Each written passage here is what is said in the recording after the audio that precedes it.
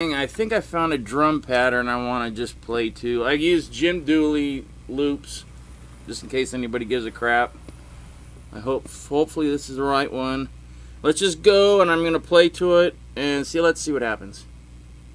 See if it's loud enough and everything. Go! No. Yeah, that's loud.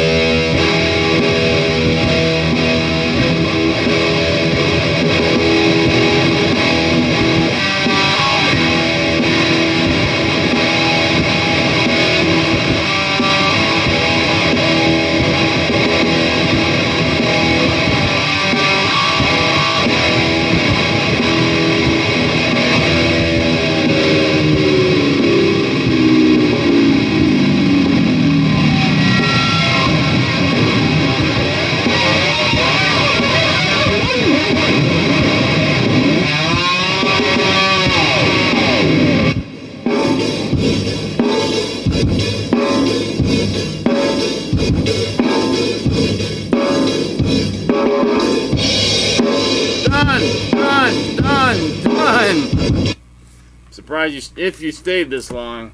I know you actually your average watching time is four minutes. Pick it up a bit. So here's something, just in case anybody no it's like why isn't he using I don't know if you even noticed. Wasn't using my high using my high E past this fret. Well this guitar has been buried under ten other guitars. So I'm doing all this moving around during the summer because this is what happens. Neck got warped. So, when I go up, here, listen.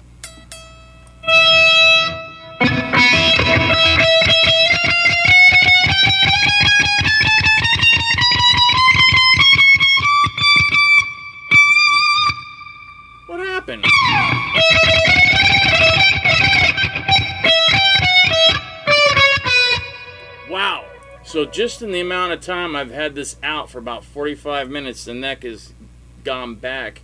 It was warped this way, so from about the 14th fret up, I couldn't play. It was all one note. It was just hitting the, the frets. So I've given the so this is another lesson to learn. If you're ever playing live, get your guitar out and have it around your neck and be messing with it for at least for like a half hour to warm up something. Because if you put that thing on fresh and and this is a Dean and Deans are one this is one of the problems with Dean that I have with Dean and that's and you know uh, this isn't a what do you call it? It's a set neck, not a bolt on. I like bolt ons. They apparently they just they're more sturdy to me. Uh, this doesn't have...